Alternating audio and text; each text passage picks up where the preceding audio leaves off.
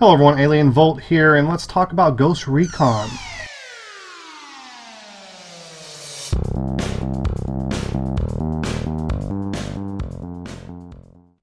Alright, so let's get into this. This is Ghost Recon PvP, or better known as Ghost Wars. Now you get three different classes to choose from. Each class has four different subclasses to give you a variety of ways to play while basically not allowing you to be overpowered at the same time. So you can specialize your your ghost, but not to the extent that you can in a single player game. The maps are also very small in comparison and while I, uh, I expected vehicles and larger maps, I can see why they chose to go away from that. Now I have to say this is very fun, it's very competitive, very SOCOM-ish for the feel. Um, I, I really enjoyed it, but a lot of that has to do with your teammates, because if you have a shitty team, well, you get a shitty game.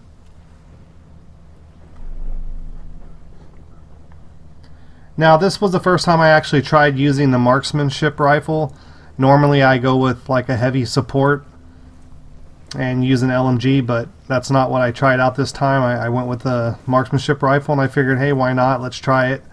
Um, the way this works is you actually have to unlock classes and you have to basically you get points and then you you buy into the class and unlock it as you play so that's that's pretty much how it goes it obviously has competitive ladders um, as well as a progression system that you unlock as you go through, not only in, in the class itself, but in uh, passive abilities. Now, this is this is really well done. It really is. The only problem I'm really seeing here is that the game's been out for a while already, and to come in with a DLC now, this late into the game, and say, "Hey, here's PvP. Come, uh, come create a community." Is pretty tough. And maybe maybe I'm wrong. Maybe it'll be extremely successful. I mean, it, it does play very good. It's it's a great game. This was a lot of fun. So maybe it will be successful. But the problem I'm seeing is that there there really isn't a community that's really strong with this game right now. Had this come out like, you know, when the game was released, I think it would have done very well. I think the game sales would have done extremely well. I think holding off on this, you know, several months after the release of the game was a big mistake. The group of people I play with, or my outfit, um, has all moved on to other games. I mean, they, they don't play this game anymore. And so, for me now, I still have it installed because I enjoy it. So I come in and I do challenges every once in a while just for the fun of it because I really enjoy the game. I think it's I think it's a great game. But not everyone chooses to keep, you know, 50 games installed on their computer. I mean, I do that because I like going back to things and playing them sometimes if I really enjoy the game. If I don't, well, then I uninstall it and I make room for something else. But, uh, not everyone does that. Some people just play one game, they when they finish it, they uninstall it and they're done. Unless it's a multiplayer game, which this has now. Well, at least it will in two days for PC.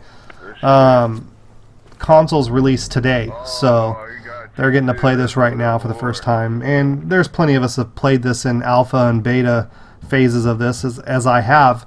But at the same time, it uh, it's late. It's so late in the game, and I just don't know if it's going to have the staying power that it could have had had it been released when the game was new.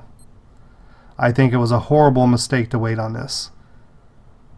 They should have pushed the game back three months if they needed three months extra to, to polish this game mode to make sure it released on time.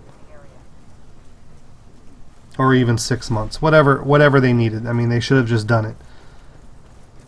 To release this late in a game, the game's gonna, you know, it's already been on sale several times. Um, I just I, I'm sure some people may pick this up to play this once they see the videos and they really like it, but at the same time, it's not going to bring in the crowd that it could have on release day.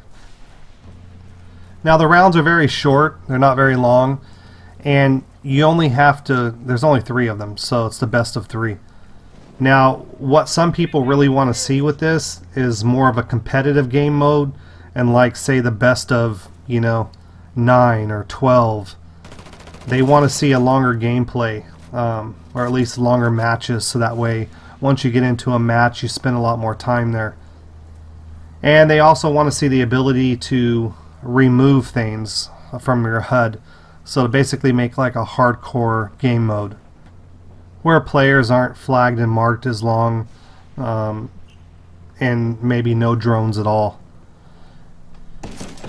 I don't know whether or not the developers are going to deliver that or not. I mean, it's taken them such a long time to deliver even this. I don't know that they're going to go in and, and start tweaking things now. It'd be nice if they did, so that way the community actually stayed with the game, because I could play it either way.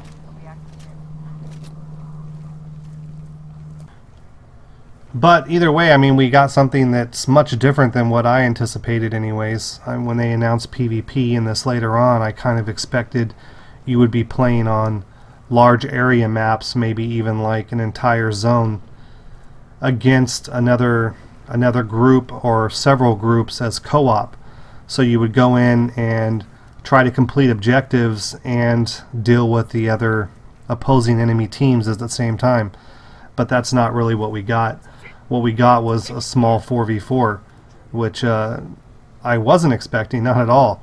Um, at first, I didn't know what to think about it. I was like going, "That's awfully small," and and I don't know if I like the idea of having such you know such small maps to play on.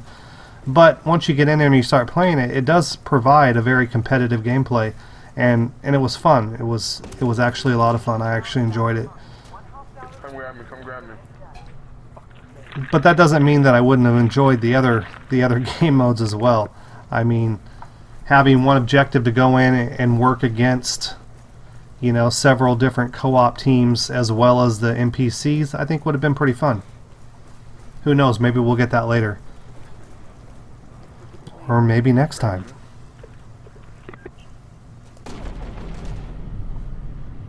But as fun as this game mode is, it does present a lot of challenges one, every time you fire, you can be marked on the map so enemies see where you're at. And two, you can be revived.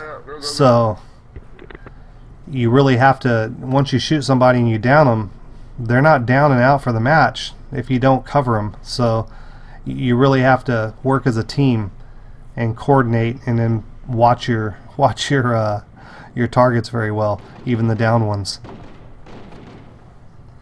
I hope they end up doing really well with this.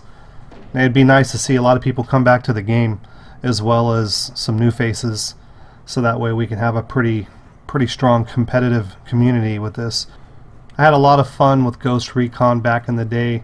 I was a member of a, a group called Team Soto which was made up of a group of guys that were uh, law enforcement and military and uh, we had a we had a good time playing and uh, Actually, I still play with some of them, even in my task force today.